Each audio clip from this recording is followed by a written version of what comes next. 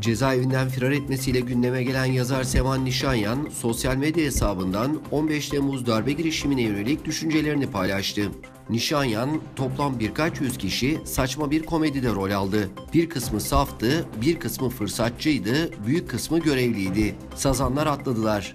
Belki özel görevli kişiler sazan ayağına yatarak diğer sazanları teşvik ettiler. Olayın sonuç getirmeyeceği belli olduktan sonra hükümet yanlısı kalabalıklar sokağa sürüldü. İnandırıcı olması için üstlerine ateş açıldı. Yeşilçam'da figüran mı eksik?